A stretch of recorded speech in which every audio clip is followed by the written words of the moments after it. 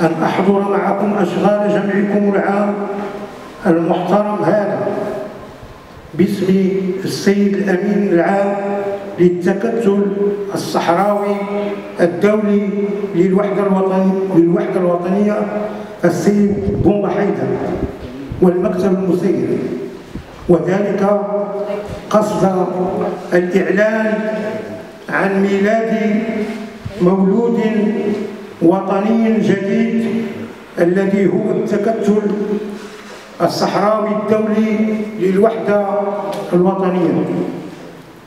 فهنيئا لنا جميعا بهذا الشرف العظيم الذي اخترناه عن طواعية وحب لهذا الوطن العزيز الذي نضحي من أجله وفي جميع المحطات والمحافل الوطنية والدولية بالغالي والنفيس. إنها قضيتنا الأولى إنها الصحراء المغربية.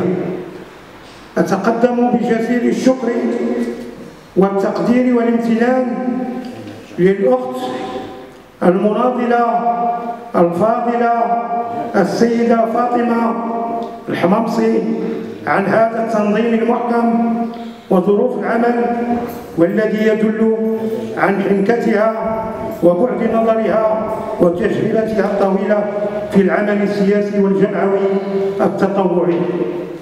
كما أشكر كل من ساهم من قريب أو بعيد على إنجاح أشغال هذا الجمع المبارك تحت شعار الله الوطن الملك. حفظكم الله ورعاكم